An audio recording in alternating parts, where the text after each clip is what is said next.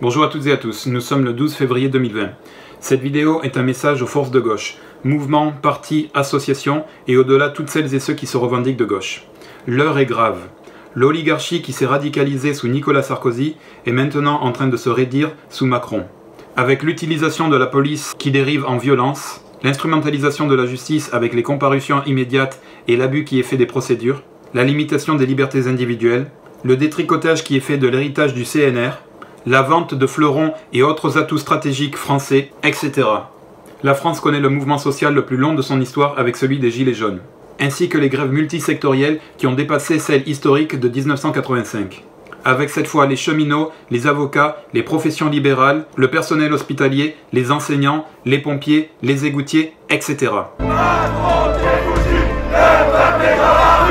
Le bilan de ces deux premières années de mandat est lourd. Il en va de la responsabilité des forces de gauche de proposer un modèle alternatif à celui antilibéral qui domine le monde actuellement. L'action du camp de gauche doit être à la mesure de la situation.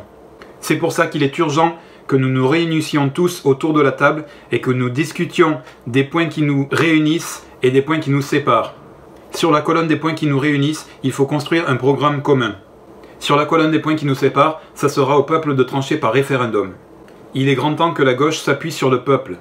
Celui-ci s'est réveillé et demande maintenant à participer aux décisions qui le concernent. La gauche doit le comprendre, c'est fondamental. Le comprendre, ça veut dire se mettre au service tel un outil, et non pas une élite sachante prétendant diriger le peuple tel que la droite le prétend actuellement. Car oui, Emmanuel Macron est en réalité de droite. Il y a une demande de relocalisation du pouvoir. Si l'on est démocrate et qu'on est attaché aux valeurs individuelles, c'est au niveau local que les discussions doivent être menées. Même si le peuple fera des erreurs telles que les politiciens professionnels en font, c'est de cette manière et de cette manière seulement qu'il apprendra. C'est en forgeant qu'on devient forgeron. Je récapitule donc ma proposition.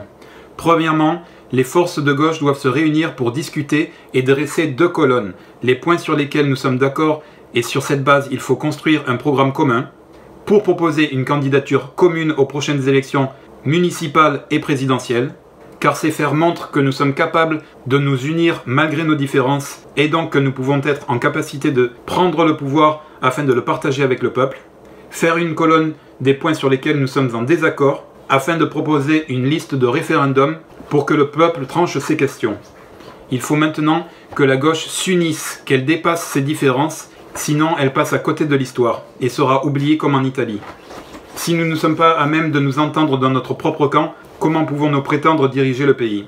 Il est urgent de nous entendre sur les points de convergence et de laisser au peuple la main sur les points de désaccord. Voilà quel est mon appel. Si vous pensez qu'il est pertinent, merci de le partager autant que possible autour de vous. Et comme d'habitude, je termine par le triptyque de notre beau pays. Liberté, égalité, fraternité, vive la France et vive le peuple souverain.